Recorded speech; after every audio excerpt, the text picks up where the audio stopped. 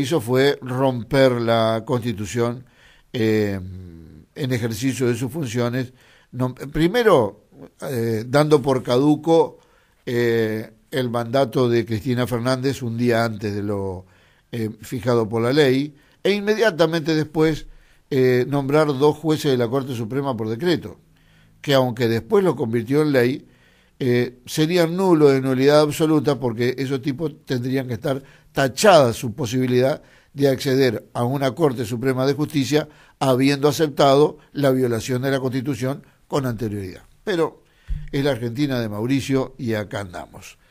8 y 31 en la Argentina. Estás escuchando Concepción Siglo XXI, donde late la ciudad. Bueno, ese es el teatro de la vida y ahora nos vamos al, al teatro del teatro o a la vida del teatro, porque Concepción del Uruguay va a ser eh, sede de un nuevo encuentro provincial de teatro que promete y mucha, muy buena obra en nuestra ciudad. Auspicia Mutual Bancaria. Carolina Galear es la secretaria de eh, Cultura y Turismo de Entre Ríos y nosotros la saludamos con mucha alegría. Eh, Gastón y Juan Isaguirre, te damos la bienvenida. Hola Juan, ¿cómo estás? ¿Cómo estamos? ¿Bien? ¿Cómo estás Juan? Bien, bien, bien, muy bien. Bueno, preparándonos con eh, este 35 encuentro interreno de teatro que se va a realizar en esta oportunidad en Concepción. Y bueno, llegar a través tuyo a toda la audiencia, a todos los uruguayenses para invitarlos a que a partir del miércoles de la semana que viene, el miércoles a las 6 de la tarde se va a realizar la apertura eh, que va a ser en la plaza principal, después en el Colegio Nacional y después con la primera obra de teatro inicia en el Auditorio Celsi con la obra de teatro Millones de Segundos. Se da la apertura formal a lo que es el encuentro entrerriano de teatro, que es el encuentro eh, de los teatreros de la provincia, pero que queremos también que el público se apropie de este encuentro y pueda disfrutarlo y pueda eh, ver muchas y buenas obras de teatro de actores locales, ¿no? De actores entrerrianos. De autores locales. Eh, eh, básicamente digo de autores locales. Sí, si bien es un encuentro entrerriano, es decir, se seleccionaron seis obras de, de, todas las que se presentaron en la convocatoria, todos los años hay una convocatoria, se presentan obras de, de directores y actores entrerrianos selecciona, un jurado selecciona y este año por primera vez se les va a pagar un caché a estas obras de teatro, son seis, más las obras locales, eh, en este caso de la sede que es Concepción del Uruguay, donde hay tres obras locales que también fueron seleccionadas por el jurado, que van a tener lugar eh, durante los, tres, los cuatro días del encuentro, ¿verdad? Además también hay sorpresas, va a haber intervenciones teatrales en bares, eh, y también en, en, una casa particular, en la calle Verón 95, ahí va a haber otra obra de teatro, y bueno, la gente puede ir a buscar el programa a partir de este fin de semana en los bares, en los restaurantes va a haber la programación, cosa de que se puedan organizar para ver todas las obras de teatro y no se pierdan nada. Bien, y esta, y esta mm, convocatoria resultó exitosa por la cantidad de interesados que, eh, que tuvieron eh, manifestación, digamos, en los días, en los días previos y que se refleja en la cantidad de obras a, a presentarse.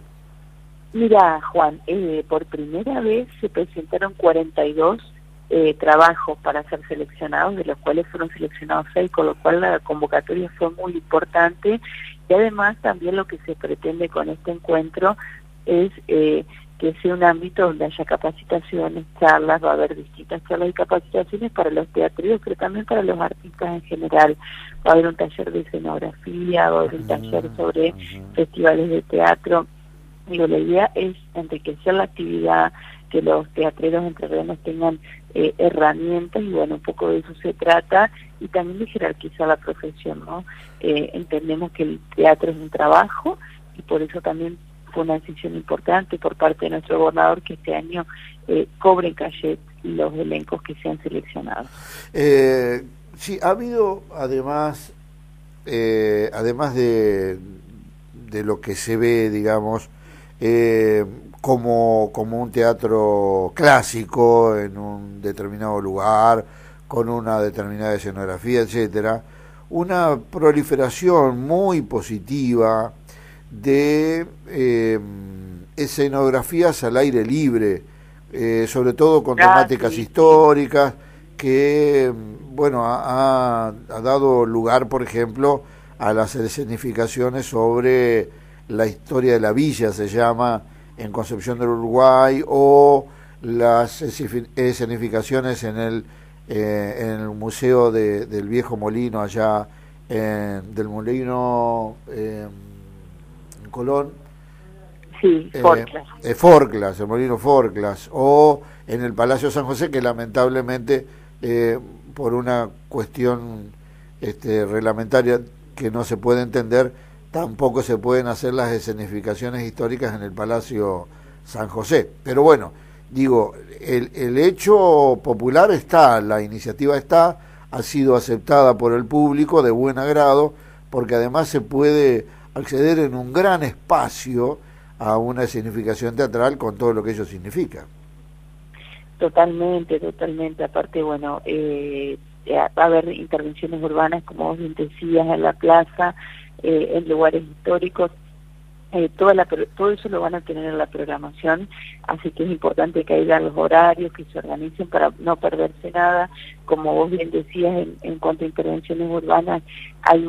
una persona que, que vino y formador eh, que es de Concepción de Uruguay, que se llama Juan Parodi. Juan es un artista que está en Buenos Aires, que es muy reconocido en lo que es intervenciones urbanas y bueno, él va a estar llevando adelante eh, una apuesta de intervención urbana a la plaza, bueno, el día de la apertura. Así que los esperamos a todos ahí, en la plaza principal, a las seis de la tarde, eh, va a estar el intendente, en principio está confirmada la presencia del gobernador también, así que dando eh, apertura al 35 Encuentro Interreino de Teatro, que este año se cumplen 50 años desde que comenzó en el año 1969, con lo cual también va a haber una muestra en el Museo Artemio Alicio, eh, en el Museo de Dibujo, donde se van a a exponer eh, toda la historia del encuentro terreno de teatro durante sus 35 ediciones, ya que durante la dictadura se interrumpió, por eso no coincide que se cumplan 50 años de esas 35 ediciones, eh, y también, por supuesto, va a haber un libro que un libro que recoge toda la, la historia de estos 35 años del encuentro, ¿no? que ha sido un espacio históricamente de los teatreros de nuestra provincia muy importante y bueno, queríamos rescatarlo eh, ponerlo en valor y por eso se retoma el encuentro este año. Eh, te vemos seguido en Concepción Uruguay y debemos apuntar eh, una ficha positiva y resaltante para el rescate de lo que era esa vieja terminal que tenía una condena al olvido y haber generado allí el, Centro de Capacitación Turística, el CECAT, que realmente está teniendo mucha repercusión y además eh, una, un desempeño multifacético, eh, más allá de la cuestión principal, que es la capacitación en turismo, ha tenido una, una relevante, un relevante papel en esto a poco de andar, ¿no? Gracias, Juan. Bueno, eh, la verdad que nada, se trata de, un proyecto de inversión turística en el marco de la ley de turismo. Nosotros se declaró de interés el lugar para poder ser utilizado eh, en el marco este eh, se presentó una propuesta de, inversión en materia de capacitación turística y entendíamos que era eh, un espacio interesante que estaba abandonado, como bien decís, y que era un uso que a nosotros como provincia nos servía muchísimo, sobre todo para que haya un lugar de referencia en, la provincia para todo lo que tiene que ver con capacitación en turismo, entendiendo que hay que formar el recurso humano, que hoy estamos con una demanda eh, un mercado muy competitivo lo que el turismo se refiere y nosotros tenemos que formar nuestros recursos humanos, ya sea del ámbito público como del ámbito privado, a los prestadores, eh, y en un lugar muy interesante. Así que bueno, trabajando día a día con el municipio, con el intendente Eduardo Laurito, ayer eh, se llevó adelante la formación de los guías que van a eh, ser guías de, de la muestra de Ana Frank, que va a estar expuesta también en el SECAT, eh, y no solamente es un centro de capacitación turística, también queremos que sea un lugar, un espacio cultural que se apropie la gente que está en el barrio, en los alrededores, pero también todos los uruguayenses lo pueden utilizar para muestras de arte, para distintos talleres, bueno, estamos trabajando en el acercamiento con las universidades para que también puedan usar los espacios del SECAT y que el SECAT sea un lugar de todos. Ese es el objetivo, como todo lo que hacemos en la Secretaría de Turismo y Cultura del Gobierno de la provincia, ¿no? Que sea una gestión, la gestión de turismo y cultura tiene que ser con el sector privado, con la gente, digo, en turismo eh, no hay desarrollo turístico posible si no se trabaja en conjunto con el sector privado eh, y en el caso de cultura tenemos que trabajar con los artistas para que el artista se apropie de la gestión y sea una gestión con los artistas, ¿no? No para los artistas solamente, sino con ellos y que ellos se sientan reflejados. Por eso eh, es fundamental eh, que, que todos, que la comunidad se sienta parte de la gestión y en eso estamos trabajando, así que bueno, el SECAR tiene que ser de todos los uruguayenses y tiene que ser un ámbito de, de formación de capacitación del recurso humano y de desarrollo para todos, para todos los entrerrianos. Eso es lo que aspiramos y estamos trabajando en eso. Bueno, eh, finalmente un ligero pantallazo hacia cómo nos preparamos para eh, vacaciones de invierno. Bueno, Juan, estamos trabajando fuertemente. La situación económica es una crisis terrible que está atravesando nuestro país producto de las medidas del gobierno nacional y bueno, eso no es que estamos nosotros eh, efectuados de esa crisis, bueno, eso afecta al turismo, por eso estamos trabajando fuertemente